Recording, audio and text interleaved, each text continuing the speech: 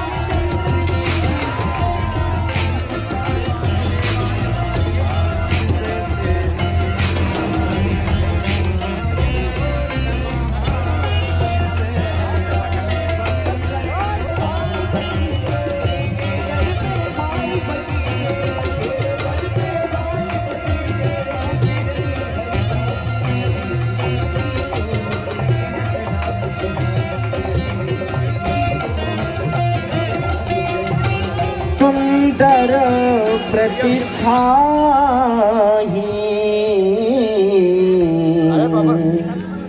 जगमगा तुमने खम्बन माही।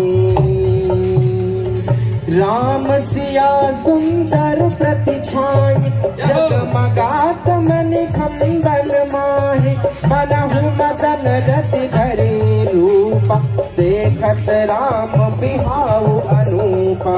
तो क्या बोलेंगे सभी हाथ उठा करो श्री राम, जय राम, जय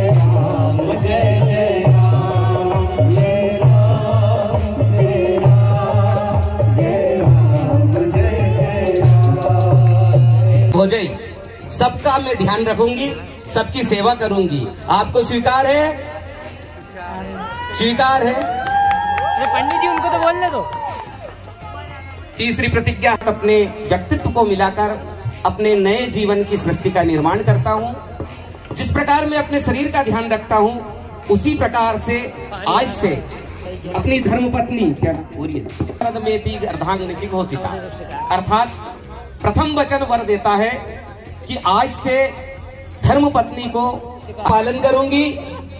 पति के प्रति कभी कपट या दुराव करूँगी। अपने पति के प्रगति में, जीवन के विकास में योगदान देती रहूँगी। आपको स्वीकार है? स्वीकार है स्वीकार है। बोलिए। चौथी प्रतिज्ञा है श्रद्धयाम पलियास्यामी धर्मपति व्रतम परम अहम अलक्ष्मीर्मे जन्म संसार बंधनाथ विमुच्यते नमस्तस्मै।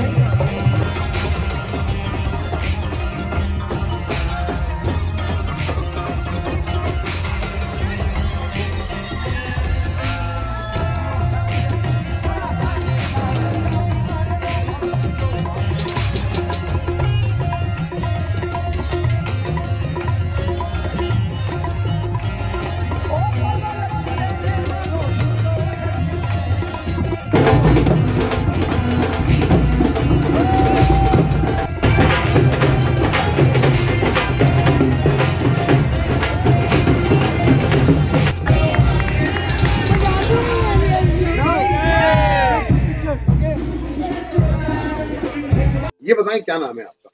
मेरा नाम नीलेश अग्रवाल। नीलेश जी मैं देख रहा हूँ कि होटल ग्रेसेस में समय आप लोग शादी का बड़ा एंजॉय कर रहे हैं और ये आपके रिलेशन वालों की शादी है। इसमें हम देख रहे हैं कि जो दुल्हन है वो फ्रांस से आई है दूल्हा जो है वो नरसिंहगढ़ पुरावर से तो कैसी अनुभूति हो रही बहुत सुखद अनुभूति है। पहली बार ऐसा जीवन में देखने को मिला है। एक जिसको कह सकते हैं अंतर्राष्ट्रीय विवाह है ये जिसमें कई विदेशी मतलब कई देशों के लोग आए। कितने फैमिली के लोग थे इनके? आए ना इनके नाम क्या है इनका? बहू का? बहू का नाम है ओरियन और ये बेसिकली फ्रांस को बिलोंग करती हैं रहती कनाडा में है और उनका जो नेटिव पैलेस वगैरह इटली वगैरह में भी है तो यूरोप के भी कई देशों के लोग हैं। और कनाडा के तो है ही उनके साथ का पूरा ग्रुप लोग आए थे लोग विदेश से? ये छब्बीस लोग थे। छब्बीस लोग आए। तो जैसे आपने देखा कि जो हिंदू संस्कृति वहाँ मनाई गई हम्म। उसमें कितना इन्वॉल्व थे मैं कह सकता हूँ अगर बिल्कुल कम शब्दों में बोलूँ कि हमारे घरों में जो होती है शादियाँ जिसमें जितनी संस्कृति का पालन अपन करते हैं उससे दुगनी अगर अपन कह सकते हैं। सब कुछ उन्होंने मतलब कुछ रस्में जो अपन अवॉइड भी कर देते हैं या समय भाव से नहीं कर पाते लेकिन इस शादी में सब कुछ हुआ है। जो भी एक छोटी से छोटी रस्म होती है उसका भी पूरा प्रॉपर इवेंट के द्वारा ध्यान रखा गया अच्छा हमने देखा कि जूते चुराई वाली रस्में हुई इसमें कितने हाँ। पैसे मांगे? अब उनने डॉलर में ही मांगे थे दो हज़ार डॉलर। अब दूल्हे ने अब क्या दिया है क्या नहीं? अच्छा मैं देख रहा था कि बेसिकल फेरे हुए मंत्रों को, ये कैसे? थी अविस्मरणीय था मतलब जो पहले शादी के जो वचन गए वचन हुए हैं, वो भी उसमें पूरा उन वचनों को रामचरित मानस की चौपाइयों के साथ समायोजित किया गया था और फेरे भी पूरे म्यूजिकल हुए, पहले पहरे संस्कृत में पढ़े गए, उसके बाद उसका पूरा मीनिंग बता के, और फिर बहू को भी पूरा उसका अंग्रेज़ी में मीनिंग बता के एक एक फेरे पे बचन पे उनसे उनकी स्वीकृति लेना और बहू ने भी हिंदी में स्वीकृति दी पूरी अपना। बहुत तोरण भी देखा हमने तोरण भी हुआ। हाँ तोरण भी हुआ। बग्गी में बारात निकली थी जो सासू माँ शुरू में आरती करती हैं वो आरती करना हो या दुल्हन की भाभी जो नाक पकड़ती है दूल्हे की वो सारी जो भी एक छोटी छोटी रस्में हैं।